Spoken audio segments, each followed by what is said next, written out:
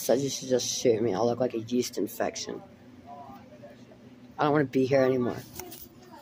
Y'all stole my face, my body, my size. I'm disgusting. I married myself. I like myself. I love myself. I didn't cheat on myself either.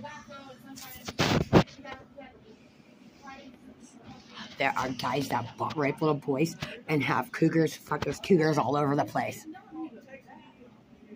Of their own children or whatever, but I ate myself. He and she both. I ate my twin.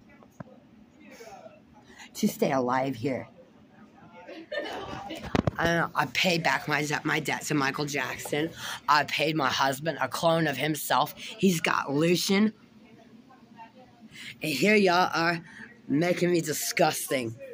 I say y'all should shoot me. I don't want to talk to you in my body. Get off my tongue before I cut it off. I don't want to live looking like you. I don't want somebody feeling sorry for me and being like, oh, I'll come fuck you. Rub your feet and your boobies while you're sick and dying. Uh, uh, uh. I'm not interested. I did not fucking sell myself to y'all. Give me back. I want y'all in prison.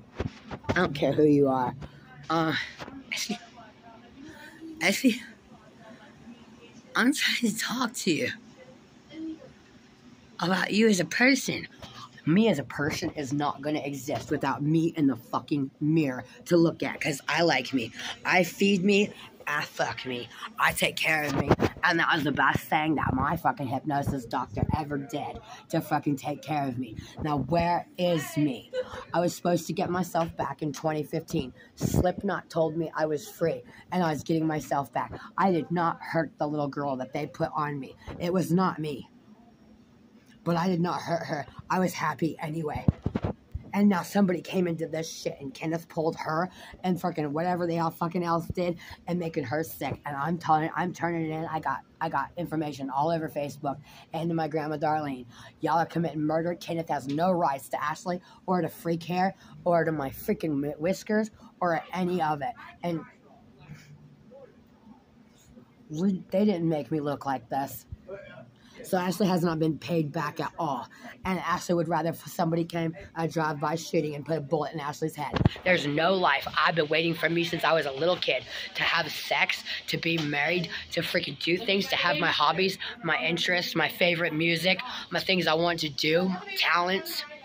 I told James when I was a little girl I was waiting for when I was a grown up because I was bored already and I didn't want to like get bored and done with it.